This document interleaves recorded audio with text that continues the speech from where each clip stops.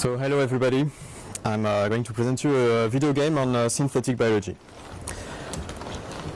Just to present myself, I'm Raphaël Goujet. Um, I'm a computer science engineer. I've worked on uh, commercial games and then on scientific games, and now I'm doing, doing a PhD on uh, learning with uh, video games. I come from the Center for Research on Interdisciplinarity, like Jesse. Uh, we, are based in Paris, the tower on the left, uh, Montparnasse Tower. Uh, I invite you to go to the website cri-paris.org and uh, especially on the Game Lab page. It's the lab in which uh, Jesse and I are working. Uh, we are working on any sort of game uh, that can be interested for uh, education and digital technologies. So our center is specialized in education, digital technologies and life sciences. That's why it makes sense for me to work on a video game on biology, educational video game on synthetic biology. I won't make the same presentation as last year's, so if you want to know uh, more about the game itself and uh, uh, the thought process to, to create such a game, I invite you to, to, to watch the video that is uh, on last year's website. The main idea is that video games are uh, based on prob- prob- problem solving and therefore learning. And, uh, whoa, okay, it's not what I wanted to have. uh, so you have complex games like this. Uh, it was too fast, too bad for you. And next one is a bit more easy, so you see that there is a whole range of games and a whole, whole range of learning. And in more words, uh, this is something that I have taken from a research paper. Uh, it focuses on precise aspects, precise features that video games can uh, enhance. So motivation, interest, retention, collaboration, and problem solving. This presentation is going to be a bit academic, but I'll try not to, uh, to bore you to death. so yeah, demo time, woo! It will be the only uh, case to balance uh, academic thing. All right, so as you saw when I uh, prepared my stuff, I'm going to play in a 640 times uh, 480, and it will be awesome. And I think it will be it will resize anyways. Yeah, because because why why would I choose? Ah, yeah, it's awesome. It's awesome. so as you can see, it's exactly the ratio I wanted. and but the the version on the internet that you can play right now is the old one that that was presented last year, and this version is the next one that will be online in next month. So um, what we've changed since last year is uh, the the tutorial aspect. Last year's version was kind of uh, discover by yourself and understand by yourself. Now it's uh, it's more juicy. You see bubbles and it's cool, and the algae are waving like this. It's it's way more entertaining. There's still a nice scenario that we have not touched, and we have uh, also introduced some uh, cutscenes because here I don't understand. I cannot move. What the hell? I'm a bacterium I cannot swim. What's going on? And then there's another bacterium that comes and does uh, what is called a horizontal transfer of genes. So it gives me a gene for me to be able to move. So you see, I introduce a story, but at the same time, I'm introducing a very interesting notion of genetics that organisms can exchange DNA. Uh, and then it's, it's a tutorial like you can see in very annoying games like Zynga games, etc. But it's very necessary just for the beginning. It's, it stops after a few minutes. So it shows me where I have to click and what I should do and what's going on. So I will go very quick. If you want to understand, uh, in a few weeks, go to the website and, uh, and do it yourself. So it shows me where are my genetic sequences that are active right now. So I have one which is uh, making my bacterium move. I very quickly show the interface, it's very complex, just stay here, don't leave the room. And uh, it shows me what is, is relevant here. It shows me with what I, I can interact. Because the test I've done with the previous version showed that um, everybody rushed to play but did not understand what was going. So now it's very guided. I see what I have to click so that I can move. Yay! So now I'm a bacterium with a flagellum I, and I can move like this. All right. So later on in the game, I won't show you everything. You, you'll see by yourself. Uh, there are other notions that are uh, showed to you. For instance, it shows you that cells can divide. So here I divide and it gives me a checkpoint. If I die, I will go back here. So if I euthanize myself, poof, then I reappear here. Okay, no demo effect, thank God. Then you have you can find other DNA sequences and I will stop the demo here. All right, so let's go back to the presentation. Okay, nice frog. uh, there was a plan B which was a trailer, but it has worked somehow, so you won't see it.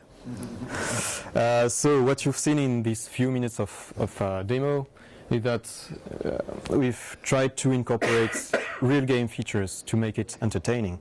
Uh, so it's a real game with challenges. Uh, there is stealth learning. The idea that you're not taught something is something that you absorb from the game. You know that there is horizontal transfer.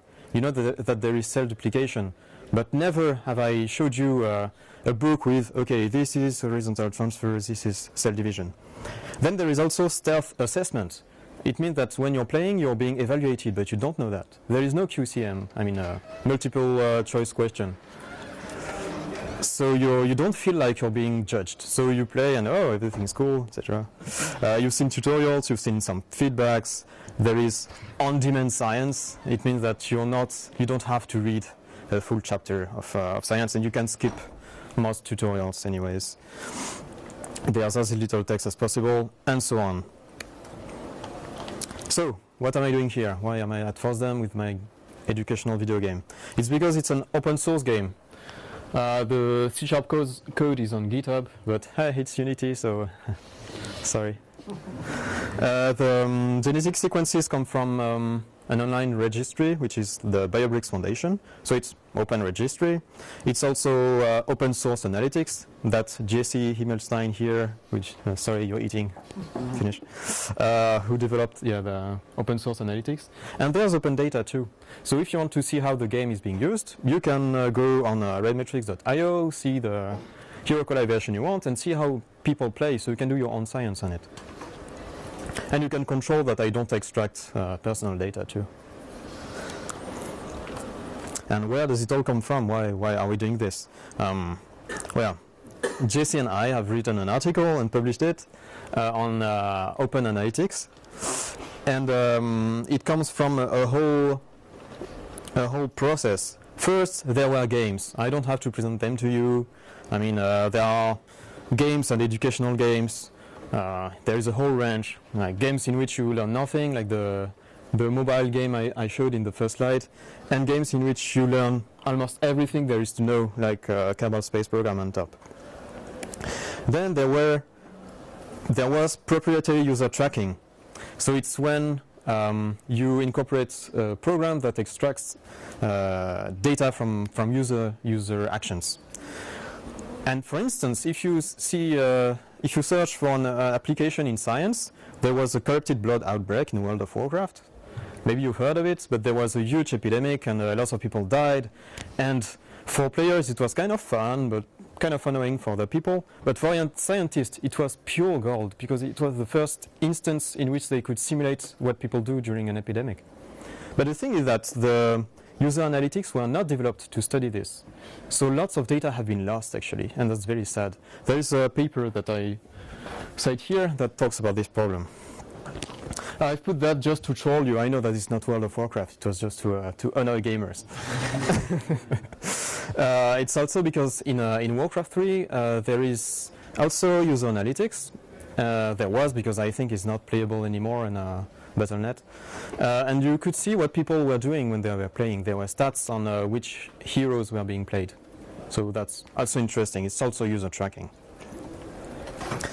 And then, after games and after uh, proprietary user tracking, there was crowdsourcing for science. I hope you've heard uh, about uh, Foldit, the game that's presented here. Who hasn't? Who has never heard about, about Foldit? Okay, lots of people. Cool.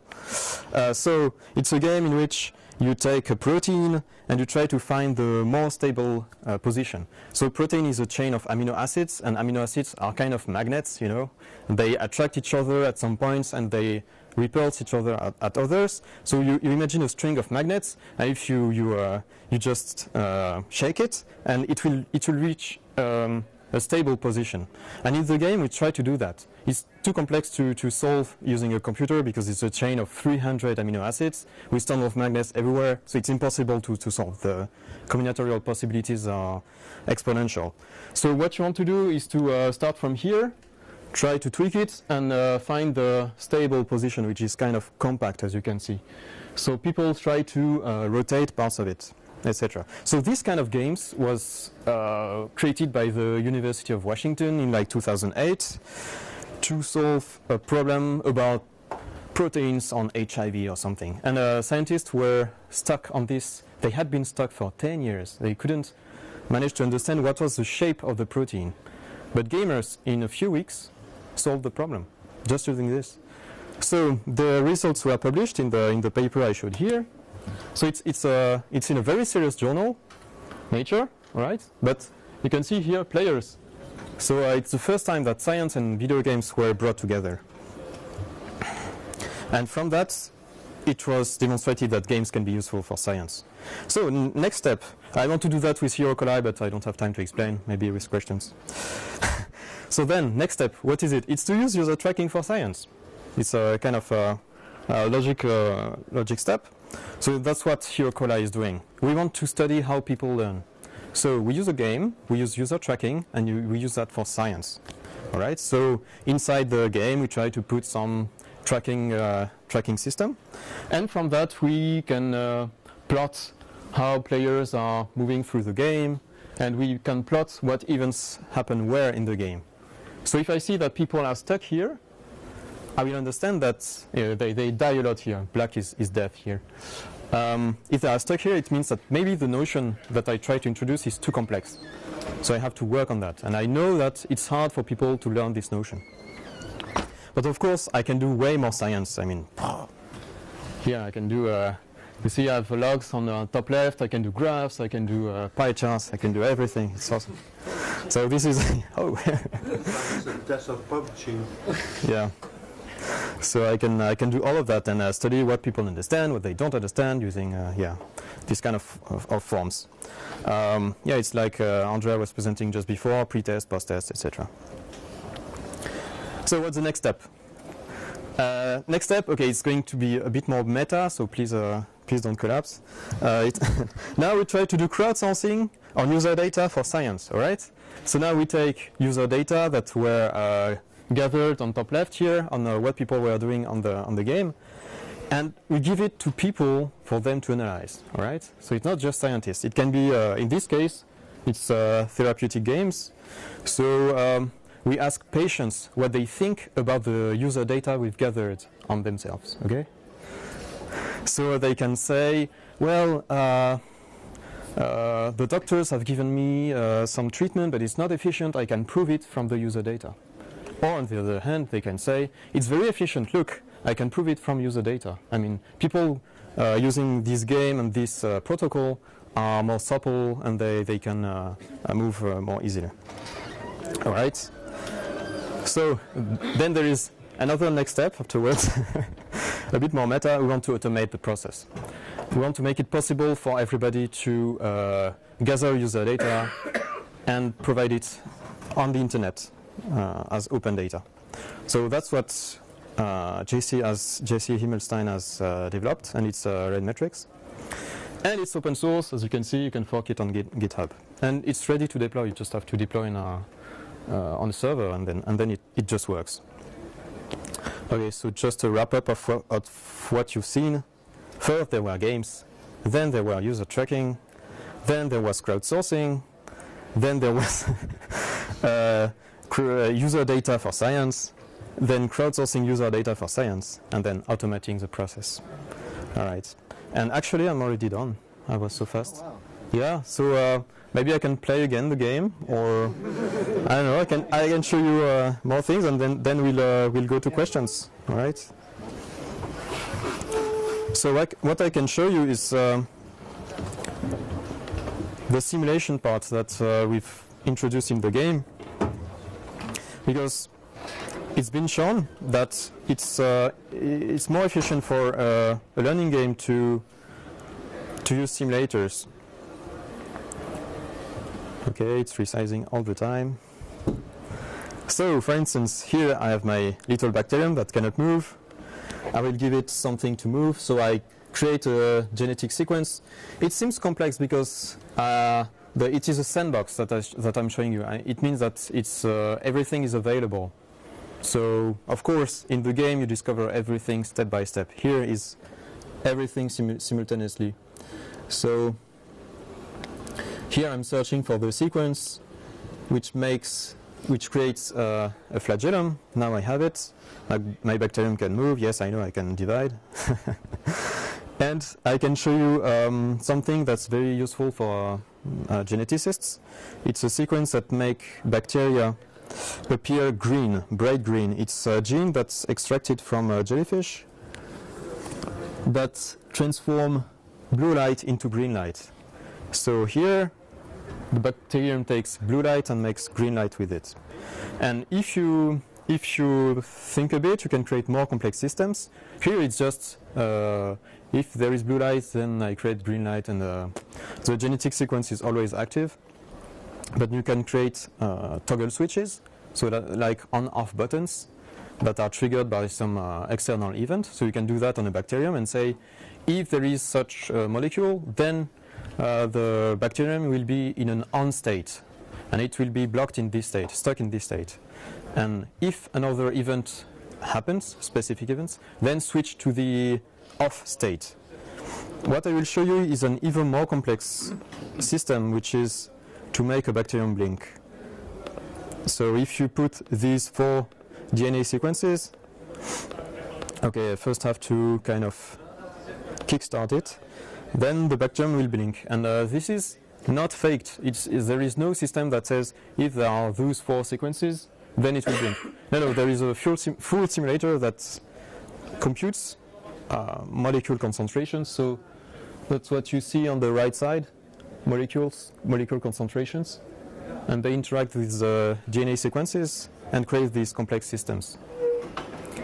And from that, you can imagine that you can integrate this game as, uh, as a practical during a, a, course in, uh, in genetics.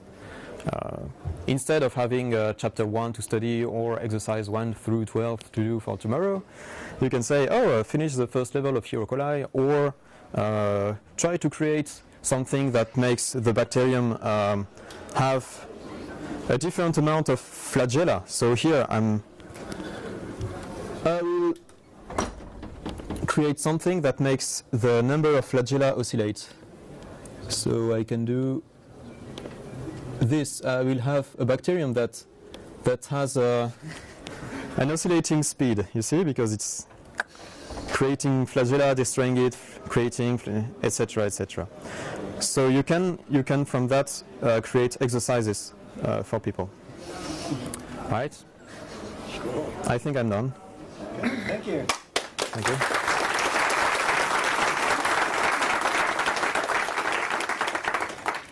Questions? yes? Do you consider porting it to an uh, open source game? So the question is, uh, am I uh, thinking about porting the game to an open source, open source engine? Uh, the thing is that I don't have much time. Uh, I'm, on a, I'm on my PhD year last year, so I have to uh, to make experiments. I don't have time. But if anybody is interested in porting it to an open source game engine, yes, definitely.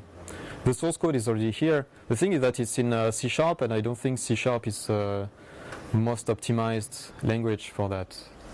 But uh, why not? Yes, I'm completely open to that, yes. Anybody else?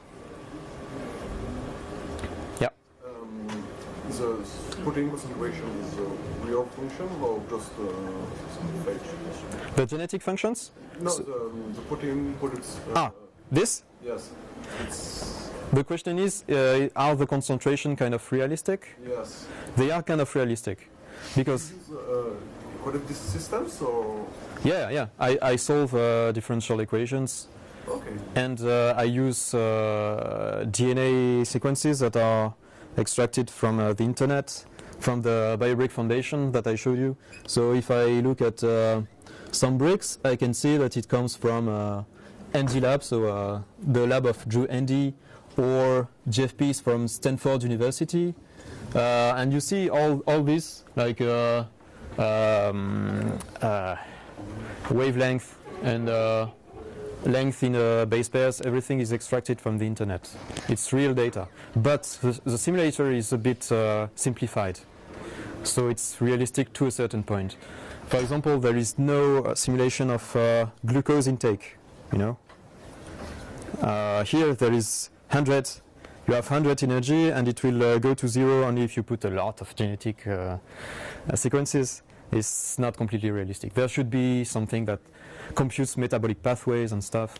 But uh, I've asked specialists and they told me, uh, you know, uh, specialists like those who created the whole cell simulator, they told me no, it's it's you can't do that in real time because you have to compute like a thousand genes simultaneously and no, not yet. Yes, In which language can it be played?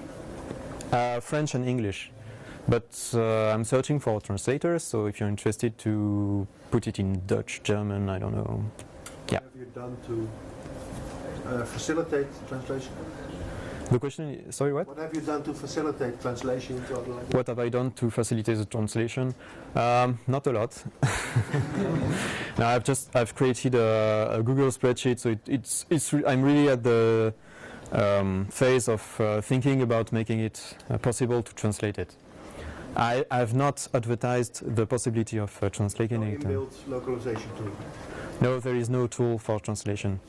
Uh, I know that there are open uh, open source tools, but uh, I've not spent time on this because uh, on Unity there are uh, tools to enable quick translations, and I, I didn't want to spend time on uh, trying to create a, a bridge between such a tool and uh, Unity tools. So I had to choose between uh, working on the simulator, working on uh, gamification, sort of, and uh, making a good translation system. But the Unity tools are there. Yeah, there are Unity tools to do that, yeah. But they are not open source. Yeah. Yes? Is the flagellum uh, uh, is that simulated as well, or is that just a switch that if you have this gene sequence, you will get a flagellum, or could you essentially grow random things? Um, so the question is, are the flagella uh, inserted when there is a sequence or if there is a a mechanism uh, on the level below that says there should be a flagellum? Um, the thing is that I compute a concentration of, uh, of a molecule that controls the growth of flagella. So it says if the concentration is above this threshold, then there is one flagellum, then two, then three, then four. Uh, but it's it was really tailored to make it possible to play. This part is not realistic at all. Because otherwise, if I had made it really uh, realistic, the bacterium would, would go in uh, random directions and uh, it would have random uh, concentrations of such molecules, so it, it would be unplayable. And that's why also the, the bacterium has eyes, you know. You know that there are some aspects that are, uh, uh, and the, the bacterium does not look like that. It's supposed to be Escherichia coli, E. coli, but E. coli is more like a, a rice grain, a grain of rice, and it looks like a tadpole, like a, a small frog, you know. So yeah, we've made we've made choices. yeah. Another question? Okay, well, thank you. Thank you.